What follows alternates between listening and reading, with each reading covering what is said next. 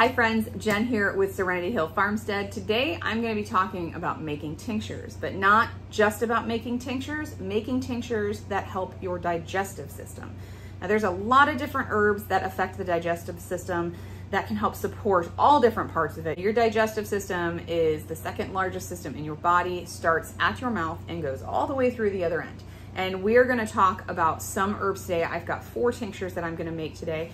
And that is by no means every herb that you could use for your digestive system. I tried to pick some herbs that would represent kind of different areas. They cross a little bit as they all do.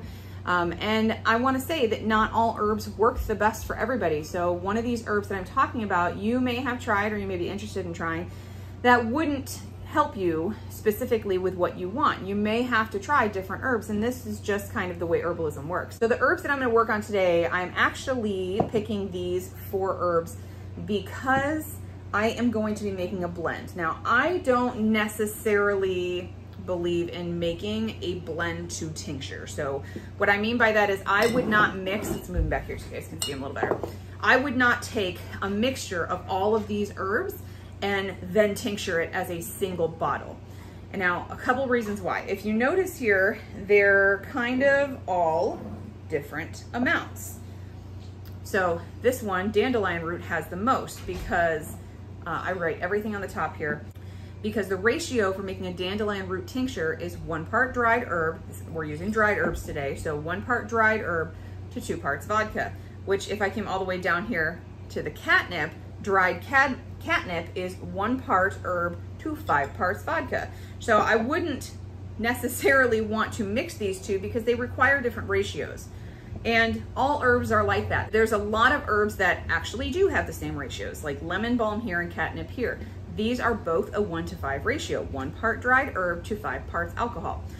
But I'm still not going to tincture them together because if I do this and I have a blended tincture, then all I can ever use this for is a catnip lemon balm tincture. I can't take part of this catnip and mix it with the, my milk thistle or part of it and mix it with my dandelion.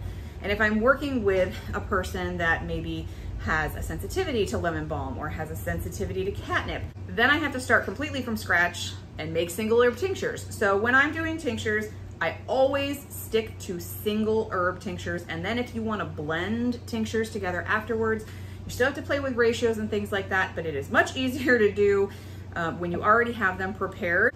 So the alcohol I'm gonna be using is vodka. This is a 40% alcohol or 80 proof. And we are going to be adding this. This is adequate for all of these. So I am going to start with this little one that I have left here.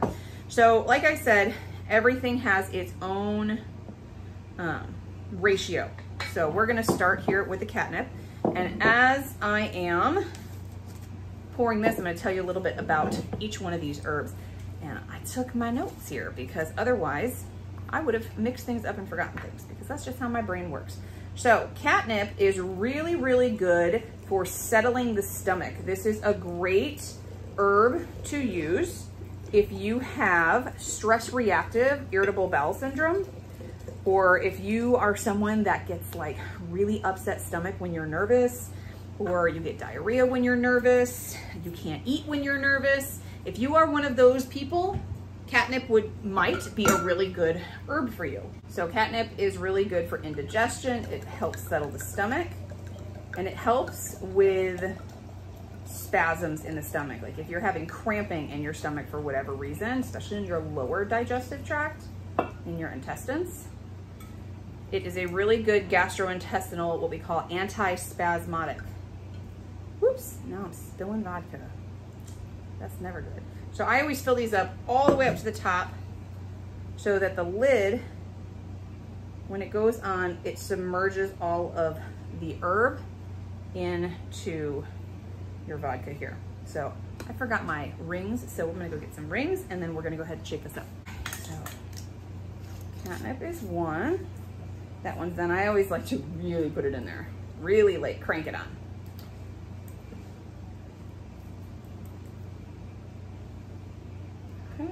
is still good all the way to the top.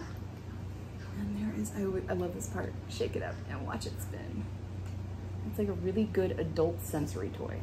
Okay, the next one I'm gonna do now is lemon balm. And lemon balm has um, an astringent, a real mild astringent property to it. And this one, the ratio for lemon balm again is one to five. And the astringent property in herbs uh, helps to dry, uh, but it also helps to kind of knit those damaged tissues together. So an herb that we recently talked about that has that astringent property is plantain. And if you haven't seen that video, I will go ahead and link that in the description box below. Whoop. I went ahead and got herb on the bottle. Okay. Go ahead and do that. So um, I talked about how plantain for the wildfire smoke that's affecting so many people in the States right now and in parts of Canada. Um, it helps with all of the damage from breathing in that wildfire smoke, all that particulate in the air. And it puts like little microscopic cuts and, um, and things, it's fly season guys, in your upper airway. And what an astringent herb will do is help kind of pull all of that back together and assist with the healing process. So lemon balm kind of does a milder uh, form of that in your gastrointestinal tract. It is also really good for calming a nervous stomach and it is a carminative. So a carminative herb is something that helps expel gas and calm bloating. So if you also um, have a type of stomach that you get real bloated when you get nervous uh, and you, or you get real gassy, lemon balm could be a good help to you too. Get, get the sensory fill here of all the pretty herbs spinning around in the vodka. It really is my favorite part. It is, I love it. Okay, so the next one I'm gonna talk about is milk thistle. And milk thistle is actually one of the herbs I talk about in my herbal gut course. And I went ahead and printed out the printable so you could see what one of the printables looks like. And I know you can't see all the information on that, but this is just one of the printables. And each one of the herbs that I talk about has these printables for you. But it talks about the hardiness zones, how to grow it, the medicinal uses, uh, and then it talks about the types of medicine you can use, how to make that medicine. So there's all that information on every herb that I talk about in my herbal gut course. In that course, I talk about everything that has to do with the gut. I talk about it from head to toe, your full anatomy, how everything is laid together, how everything works together, what happens when things are not working correctly, how to fix them, how things may appear when they're damaged in children, and how to work with that. And all of the herbs that I've talked about here today are in it and way more. And there's also a module in there about making your own specific herbal protocols for you, how to make the medicine, how to fit them together, how to work around the herbs and find the right ones that are right for you. So if that is something that you're interested in, the link is down in the description box below. And I also have a 20% off discount code just for you guys here on YouTube. So if it's something that you're interested in doing, you can go ahead and click that link below. You can put the discount code in at checkout and you will have that course. Once you purchase it, it is yours for the life of it. Any kind of additions or changes or updates, upgrades that I make to it along the way, you get those automatically for free. And all of my printables in there, there's several printables in there. You can print them out or you can just save them to your computer if you're not a printed out kind of person.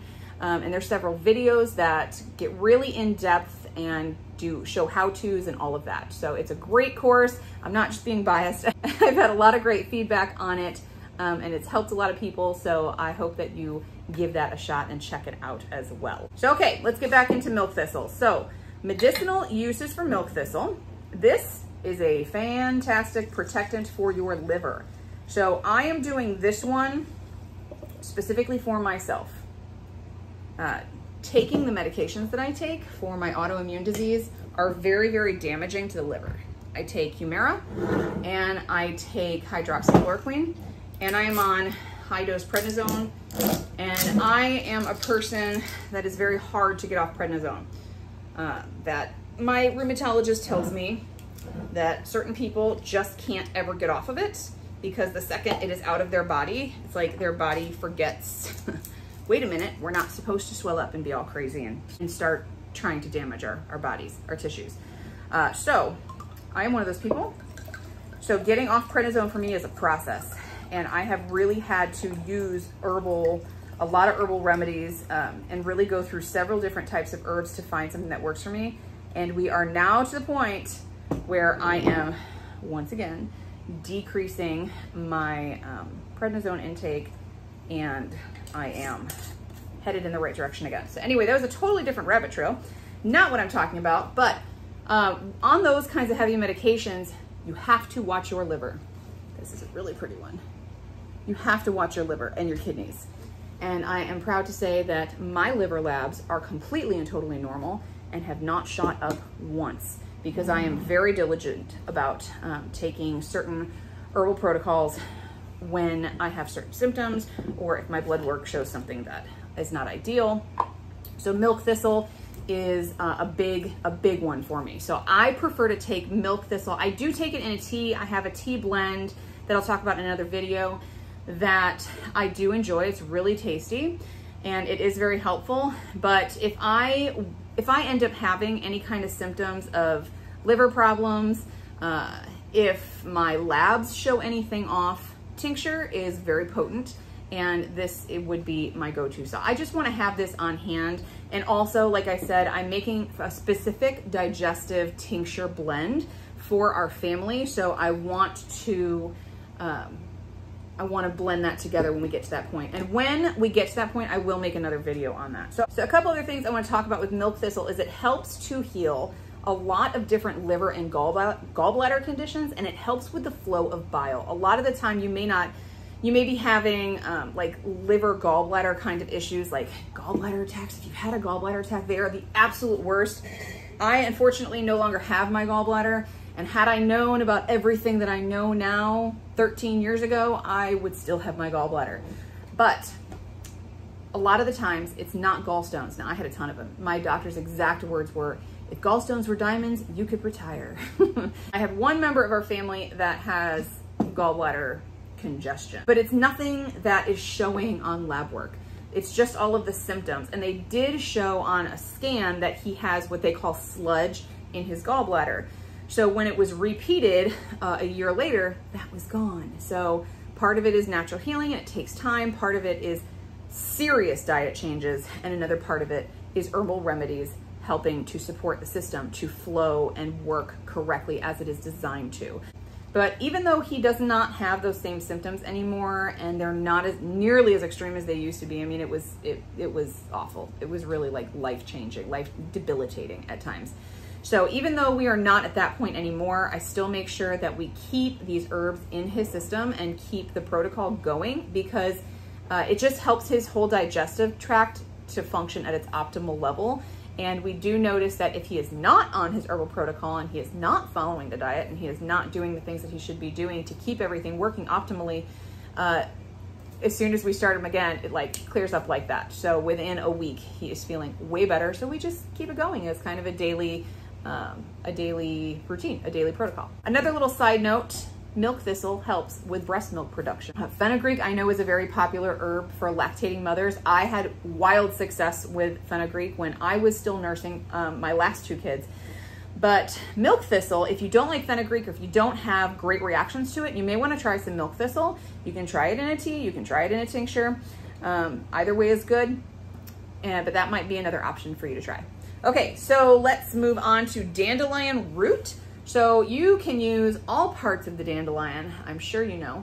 Dandelion is super nutritious. I am sure you know all about dandelion and how wonderful it is. It's a very nutritive herb. It has so many different vitamins and minerals in it. It is so helpful to so many different parts of the body, but we're gonna talk specifically about digestion today. So this is gentle enough to use as what we call a tonic. And a tonic herb is an herb that can be used on a daily basis. It is not gonna hurt you. It is super, super gentle. You can eat it, eat the greens, saute those suckers up, eat them fresh in a salad. You can have the roots, you can do any part of this dandelion you can take on a daily basis with no side effects, unless you have a personal allergy or sensitivity to it. Everybody is different, everybody reacts to things differently. So anytime you are going to be uh, starting a new herbal protocol, do so with caution. Check with your doctor if need be, especially if you have any underlying things, and do your own research with good quality. I mean, I'd say Google it, but there's so much misinformation on Google. Have a few good herbal books or a good herbal person to go to to ask. Uh, you want to make sure that your information is reliable and that you're getting safe information, especially when it comes to if you have any underlying conditions or you're on any medications. A good herb book to start with with medicine making is this one is probably my favorite for beginner medicine makers. Uh, the Modern Herbal Dispensatory.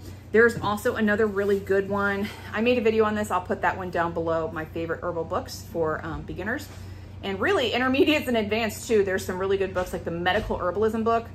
That's a fabulous one. Prescription for Nutritional Healing. There's Prescription for Herbal Healing. There's some really great books in there. So I'll put the links for all those in the description box. But dandelion root, really good. All parts of the dandelion, but we're talking root here uh, is really good for helping the liver, the gallbladder, like we just talked about with the milk thistle, but helping it work the way it should, helping regulate the function of it and your intestines also. If you are someone that's struggling with any kind of chronic conditions like um, jaundice, ulcers, or inflammatory conditions like uh, acute conditions like gastritis, things like that, this would be an excellent tincture to take too. You can totally do dandelion root in a tea, but because it's a root, remember you want to use a decoction. A decoction is a tea. It's just a tea that requires a long brew at a higher temperature. So you need to kind of start with boiling water, throw your herb in, lower it to a simmer, and let it cook for 20 to 40 minutes. The thicker the root, the longer I let it boil. So if it's like a coarse cut like this, I would let this go for 40 minutes on a simmer, and then I strain it and I can mix it with the rest of my tea blend that I just, you know, brew normally. And that's how you wanna have a root tea. So you want to get all the property. You need that because it, it pulls out all the properties better that way. If you just do it as an infusion, yeah, you'd get some of the properties, but you wouldn't get it the way you would if you did a decoction for a root, berry, mushroom, things like that. So now we have all of our tinctures here. So let's talk about how long this is gonna sit. I'm gonna put these over on my apothecary shelves and those are gonna sit, these three, because they are leafy, well, this is a seed. So I will probably give this an extra week more than this one, but not as long as this one. So these are gonna sit for four to five weeks. This is gonna sit six-ish weeks. And this is gonna sit for eight weeks. So when you, I just can't stop shaking these. When you are doing uh, these kinds of roots, berries, twigs, things like that, mushrooms, those really dense things, even an herb like Spilanthes, which is really dense, a kind of dense big blossom, uh, even red clover, if you don't chop it up, it up, if you leave it whole, you wanna leave those in longer because they're bigger, thicker, denser. It's gonna take longer for everything to penetrate in and to pull all those properties out. So like I said, I'm gonna put these over on my apothecary shelves. We get, we have like big windows over here, so it does get sunlight, but it doesn't get direct light, and it's not sitting in the heat, it's temperature controlled, and I find that they tincture really well.